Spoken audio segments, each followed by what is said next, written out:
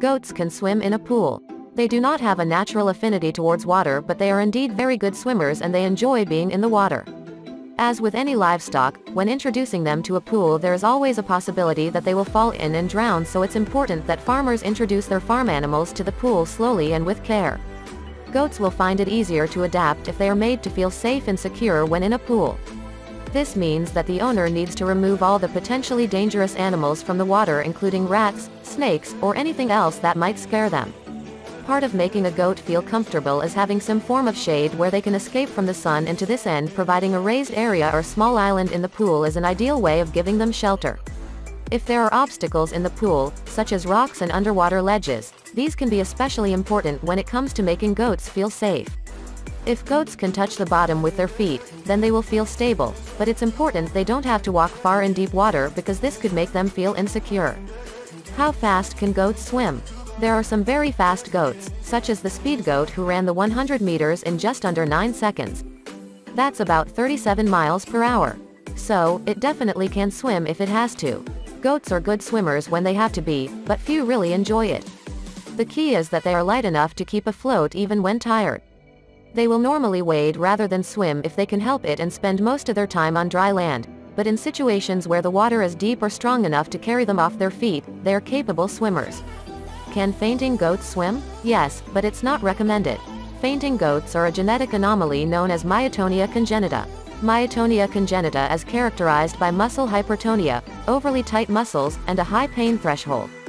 This condition can be very useful for farmers who need to handle the goat without hurting it by lifting or carrying the goat because the myotonic goat will be temporarily paralyzed by the activity.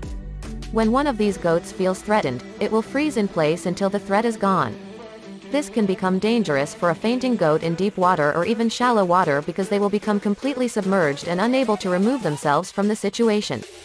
Can Nigerian goats swim? Nigerian goats are able to swim across rivers, if necessary. The animals have even learned to hold their breath underwater for several minutes.